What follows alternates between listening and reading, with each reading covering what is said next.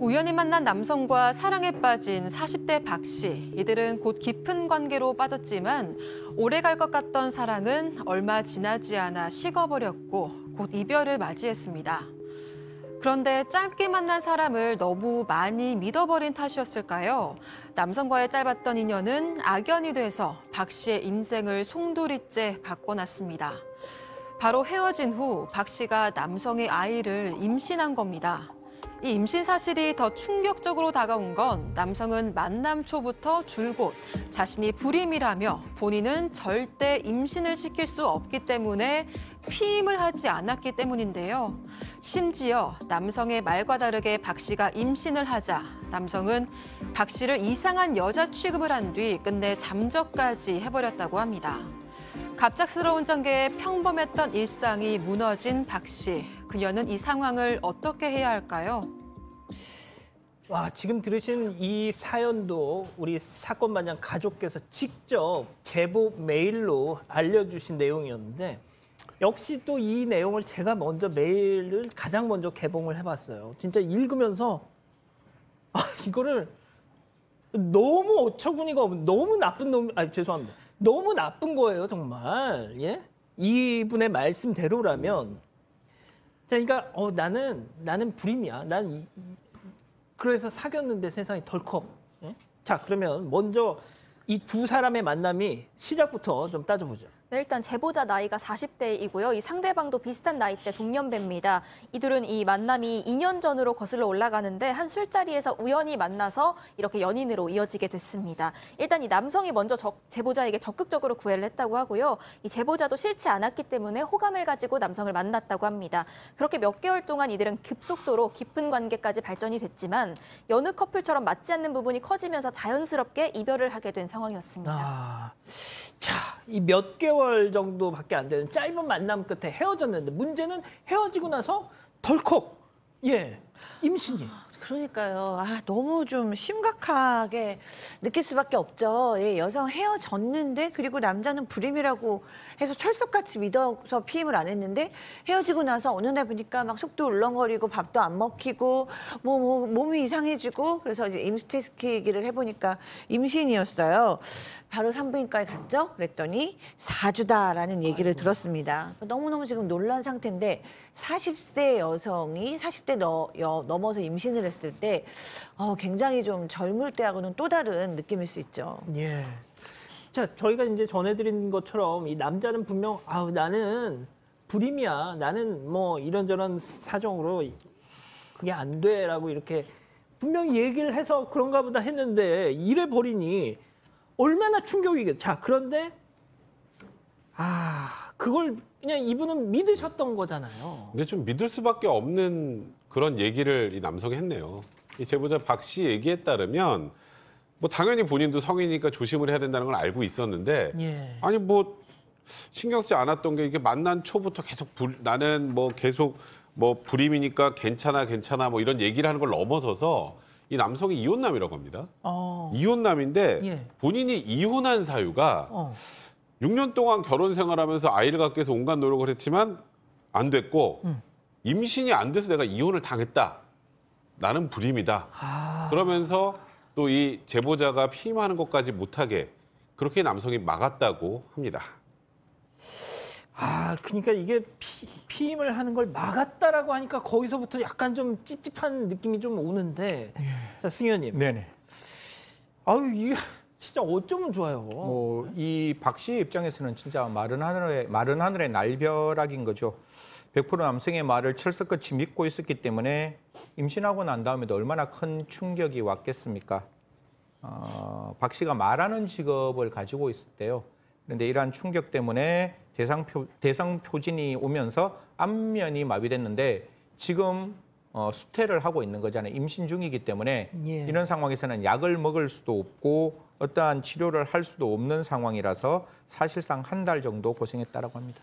제가 이분 이 사연자분의 메일을 받아보고서 아, 지금 뭐 들으신 것처럼 말씀을 하시는 직업을 갖고 계신데 이런 충격 때문에 지금 안면마비, 실어증, 대상포진, 뭐 막이막 아이를 키우, 갖고 있는 입장에서 왕창 이게 막 몰려온 거예요 지금 상황이. 그래서 저도 참 너무 안타까웠는데 아, 아 그러면은 그그 남자 열 한테 가서 야야야야 이 테스트기 보여주면서 어? 병원도 갔다 오셨을 테니까 야 이거 너- 어떻게 할 거야 라고 따지셔야지 그럼. 네, 근데 이분도 일단 그렇게 가기까지 굉장히 좀 고민을 많이 하셨던 것 같습니다. 왜냐면 이미 헤어진 후였잖아요. 그래서 이 제보자인 박 씨도 어떻게 할까 혼자 끙끙 앓았다고 합니다.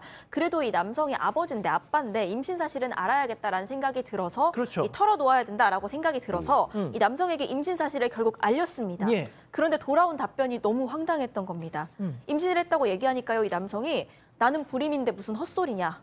어디 가서 다른 남자 아이 임신해놓고 나한테 책임지라고 하는 거 아니냐. 이렇게 나온 겁니다. 그래도 뭐 짧은 시간이었지만 그래도 한때는 사랑을 했던 사이였고 근데 이제 와서 야 너 어디 뭐 나한테 뒤집어 씌우려고 이딴 소리 하면 어떡합니까 이거 그러니까요. 이거는 진짜 설사 본인이 아 나는 불임이라 임신 불가능한데 라고 진짜 그렇게 의구심이 들어도 본인 아이가 맞는지 확인하는 절차를 최소한 당연하죠. 거쳐야 되는 거가 기본이죠. 당연하죠 근데 여기서 딱 얘기 나오는 게 좀 이상한 여자 취급을 하면서 그거 내, 그 애가 낸 거 어떻게 증명해? 그거 본인이 증명하면 됩니다. 그 저기 유전자 검사 해가지고 그렇죠. 어렵지 않습니다. 이제 그러면서 이제 약간 이상한 여자 취급하면서 입에 담지 못할 말들을 계속 쏟아내니까 음. 이 제보자 같은 경우는 처음에는 원래 그냥 일단 사실은 알려야 되는 거 아니겠어요? 예. 최소한 아이 아빠라는 사람한테 사실을 알리고 그 다음에 뭐 본인이 그냥 키울 생각도 그렇게 계속 하고 있었는데 음. 이제 이렇게 자꾸 이상한 사람 취급하고 본인이 결국 아까 피임도 하지 말라 그래서 그랬던 거 아니겠습니까? 예, 예, 책임은 분명히 있는데 이렇게 계속 이렇게 나오니까 너무 억울한 마음도 들었고 그래서 이 남성에게도 책임을 물어야겠다 이런 생각을 하게 됐다고 합니다. 신현님 어쨌든 뭐 생명을 잉태한 건데 어 성인이고 둘 다 아이들도 아니고 말이죠 둘이 뭐가 됐든 생명에 대한 책임은 져야 되는 거 아닙니까? 그렇죠. 그 부분에 대해서는 저는 분명히 명확히 책임을 져야 한다라는 생각을 가지고 있는데 또 여성이 가지고 있는 전인격적인 결정권, 다른 말로 임신 중지를 할 수 있는 그 의사도 존중은 분명히 받아야 되겠죠. 그래서 제일 처음에 이박 씨와 남성은 임신 중지를 결정하기로 했답니다. 그래서 병원에 찾아갔어요. 병원에 찾아가서 확인해 보니까 정말 임신이었고 그 임신 때문에 이제 임신 중지를 하기 위해서 남성과 이야기를 하는 중 남성이 이런 얘기합니다. 나 바빠서 못 올 테니까 수술비 내가 계좌 이체해 줄 테니까 네가 알아서 해라라고 호련히 떠나버립니다. 이 박 씨 돌아오는 길, 돌아오는 지- 집에 돌아오는 길 내내에 그 뱃속에 있는 아이의 심장 소리를 들을 수밖에 없었고 그게 종일 생각났다라고 합니다. 그래서 박 씨 결국 아이를 출생하기로 결정했습니다. 소장님 그래서 네. 혼자 아이를 낳, 낳, 낳았어요? 네, 아니면- 어. 낳았어요. 아, 낳았어요? 네, 아이를 낳고 아. 이제 막상 아이를 낳고 보니까 너무 예쁜 거예요. 그래서 아. 100일쯤 되고 나니까 아이를 볼 때마다 너무 미안한 거예요. 이 아이는 아빠 없이 살아가는 거잖아요. 네. 그래서 이제 아 그래도 나는 이 남자가 싫지만 아이한 아이 아빠한테 얘기는 해줘야겠다. 아이가 생겼다고. 그래서 이제 연락을 했어요. 음. 아이를 낳았다. 그랬더니 그때부터 뭐라고 얘기하냐면 무슨 얘기를 하는 거냐? 나는 성불구자인데 네가 나한테 사기치는 거 아니냐? 도리어 내가 피해자다. 너 고소하겠다. 그러면서 또 이상한 말도 해요. 또 그렇게 얘기했다가 네가 낳아놓고 이제 와서 나보러 어쩌라는 거냐? 또 막 이래요. 그 왔다 갔다 하는데 어 저는 정말 좀 이해 안 되는 부분이 하나 있어요. 왜냐하면 이렇게 성 적으로 이렇게 뭐가 문제가 있어가지고 아이를 만- 못 낳았던 그런 난임이 있었던 남성들이 아이를 갖게 됐는데 이렇게까지 아이를 거부하는 경우를 전 본 적이 없거든요. 어. 너무너무 그 아이에 대한 집착이 도리어 생겨요. 내가 그렇죠. 정말 갖고 싶었는데도 못 가졌던 아이기 때문에 그래서 아내가 싫더라도 그 아이에 대해서는 도리어 굉장히 내 아들이라는 것을 강조하는데 이 남자는 기본적으로 이 얘기가 진짜일까? 예. 라는 의심 저는 좀 합니다. 자, 우리 가족 여러분들이 채팅창 에 여기까지 딱, 야, 이제 아이도 낳았으니까, 어, 유전자 검사하면 되겠네. 지금 다들 그러세요. 네, 그래서 이 박 씨도요 남성이 이렇게 뻔뻔하게 나오니까 유전자 검사 해보자, 당신 아이인지 당연하죠. 확인해보자 이렇게 요구를 했습니다. 어. 그런데 이 남성이요 번호 바꾸고 잠적했습니다. 어, 참, 어쩜. 그러니까 이 박 씨는 사실 애초에 양육비 받을 생각도 없었지만요 남성이 이렇게까지 뻔뻔하게 나오니까 이제는 양육비라도 받아야겠다 싶다는 겁니다. 또 야. 오히려 이 관계 전에 자신이 불임이라고 좀 당당하게 말을 하고 피임을 요구하지 않은 거 이 자체가 사기가 아닌지 여기까지도 의심이 든다고 합니다. 와, 잠수를 탔어요. 잠수를 탔어, 결국. 예? 이쯤에 이렇게, 이 정도 되니까 이제 분명해지는 거 아니겠습니까? 자, 그러면 별별 상담소 오늘의 궁금증 짚어보죠. 불임이라던 남자의 아이를 낳았는데 자 이걸 알려주자 잠적을 했습니다. 자 승현님 네. 어떻게 해요 진짜? 찾아야죠. 아 뭐 그렇죠. 예, 어. 찾는데 음. 여기서 중요한 게 이제 아이가 그 남성의 아이인 게 확실하면 두 가지가 있습니다. 이 여성은 그 아이를 키울 때 양육비 청구를 남편에게 남자에게 할 수 있습니다. 그런데 이게 남자의 아이인지를 확인 안 되면 이 양육비 청구가 어려울 수 있어요. 두 번째, 그 태어나면 핏줄이기 때문에 상속받을 수 있습니다. 이 남자가 나중에 음, 그냥 이거 제 생각이에요. 나중에 어떠한 상황에서 얼마만큼 돈을 벌건 그 돈 번 만큼 이 아이가 상속받아야 하지 않을까요? 그런 점을 생각한다면 인지청구권이라는 게 있습니다. 민법에 인지청구권을 행사하기 위해서 여러 가지 법률적으로 마련되어 있은 마련되어 있는 규정들이 있으니까요. 그 규정에 따라서 남편에게 인지청구권 하기 위해서 소장 제기하면 그 소장에 따라서 여러 가지 주소라든가 잠적하더라도 찾을 수 있는 방법이 있으니까요. 우리 백성문 변호사님한테 연락을 하시던 주위의 변- 변호사분들에 연락하시면 이 두 가지를 위해서도 반드시 인지 청구하시고 그 남편의 아이라는 거 확인 받으시고 예. 나중에 양육비와 상속 이런 것들 받으시면 좋겠다는 말씀 드리겠습니다. 예, 강미숙님 이 사람 아무래도 유부남 같다. 그리고 이 정자님 이 얼굴 공개 수배해야 된다. 지금 뭐 별 말씀을 다 하시고 계세요. 그러니까 지금 문제는 지금 말씀하셨던 것처럼 뭔가 의구심이 드는 건 사실이에요. 이 남성이 지금 이 아이를 같이 키울 수 없는 환경, 조금 전에 말했던 것처럼 유부남일 개연성도 배제할 수 없는 거고요. 그건 모르죠 지금. 그러니까 이럴 때 제일 중요한 건 조금 전에 승현이 말씀하셨던 것처럼 이 남자를 찾는 방법을 검토를 해야죠. 지금 전화번호 바꾸고 잠적을 했다고 하는데 일단 기본적인 정보, 기초적인 정보를 가지고 소장을 내고 뭐 주소 보정이나 이런 것들은 여러 가지 방법이 있습니다. 확인할 수 있는 방법이. 예, 예, 예. 그걸 통해서 이 남성을 찾아야죠. 어. 찾아서 이 나- 아빠가 맞는지 아닌지 확인도 해야 될 거고 예. 그다음에 양육비도 청구를 해야 되는 거고요. 근데 이제 뭐 어떤 분들 이거 가지고 아 이거 이 정도면 사기죄 아니냐? 음, 음, 음. 아 근데 사기죄는 안 됩니다. 어, 진짜요. 그러니까 이- 지금 이 제보자 이 박 씨에게 이 남성이 뭐 이런 걸 관련해서 이제 돈을 요구했다. 근데 돈을 받아간 적이 있다. 음. 이러면 이제 형법상 사기가 되죠. 그거는 이제 돈이 플러스가 돼야 이제 형법상 사기가 되는 거고 예전 죄명으로 한번 생각해 볼 수 있는 거 혼인빙자 간음죄 같은 거 생각해 볼 수 있는데 혼인빙자 간음죄는 이제 위헌 판결 받아서 없어졌죠. 그러니까 일단은 현재까지 이 남성을 형사 책임을 물을 방법은 없는 상황인 것 같습니다. 아.